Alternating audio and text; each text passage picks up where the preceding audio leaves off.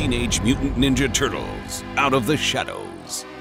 Download it this summer.